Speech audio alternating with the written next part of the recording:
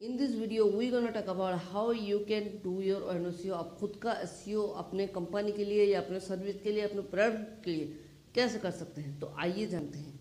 तो सबसे पहले एस क्यों ज़रूरत है?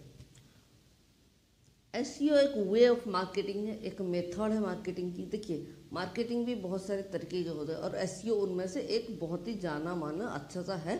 अगर आप डिजिटल थ्रू में जाते हैं डिजिटल मार्केटिंग थ्रू में, और डिजिटल मार्केटिंग में बहुत ज़्यादा मार्केटिंग के टॉपिक्स हैं या बहुत ज़्यादा सब टॉपिक्स हैं। जैसे डिजिटल मार्केटिंग एक मेन वास्ट उसमें बहुत ज़्यादा ही टॉपिक्स है अगर आप मार्केटिंग करना चाहता है। लेकिन मैं आज एस के ऊपर बात करूँ क्योंकि मेरी एक्सपर्टीज़ उसमें है।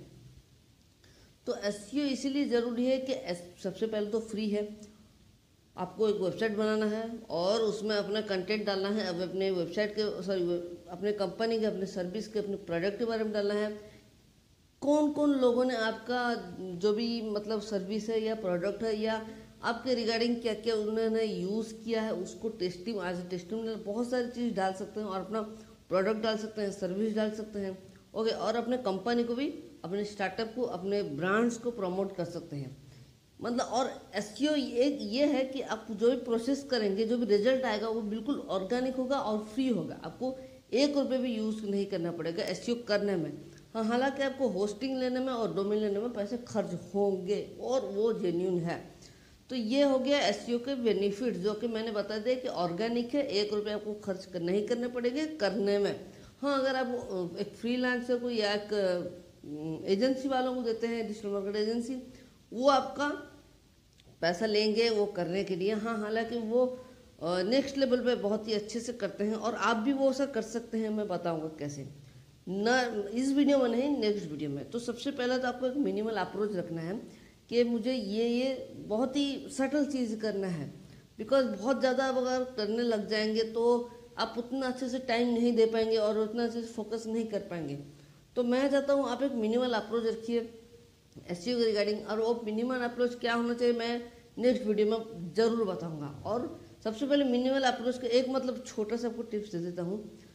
एस के भी बहुत सारे सब टॉपिक्स होते हैं, जैसे कि on page off page technical उसमें कीवर्ड रिसर्च करना, उसमें जानना है कि क्या क्या एरर्स आ रहे हैं, बहुत सारी चीज़ हैं।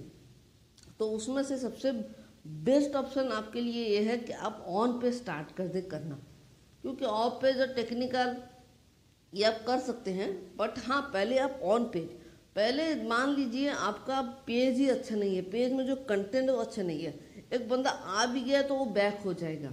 ओके तो सबसे पहले अपने कंटेंट को, अपने वेबसाइट को, अपने वेब पेज को संभालिए और सॉरी संभालने नॉट संभालिए, उसको सजाइए, उसको अच्छा बनाइए, अपने कंटेंट पे फोकस कीजिए और उसमें ऑन पे जितना ज़्यादा कर सकते हैं, करिए और उसमें काफ़ी सारे एलिमेंट होते हैं सात आठ अब आप पूछेंगे कि एलिमेंट क्या है? नेक्स्ट वीडियो में ज़रूर बताऊँगा। मतलब मिनिमल अप्रोच देन उसके बाद आएगा कि क्या होता है ऑन पेज के एलिमेंट तो देन आपको सिर्फ़ ऑन पेज ऑन पेज आप फुल कंट्रोल कर सकते हैं। मतलब हंड्रेड परसेंट आपके हाथ में आप कैसे ऑन पेज करते हैं। ओके ये छोटा सा मेरी तरफ़ से आपके लिए टिप्स या ट्रिक्स जो भी मान सकते हैं। दिन इतना ही था इस वीडियो में। मैं नेक्स्ट वीडियो में बताऊँगा कि कैसे आपको मतलब कैसे एक मिनिमल अप्रोच बिल्ड करना है और क्या बेस्ट मिनिमल अप्रोच होगा आपके लिए। देखिए, सबके लिए अलग अलग रिकॉर्डिंग जैसे मेरे लिए कुछ और मिनिमल अप्रोच है, आपके लिए कुछ और मिनिमल अप्रोच है।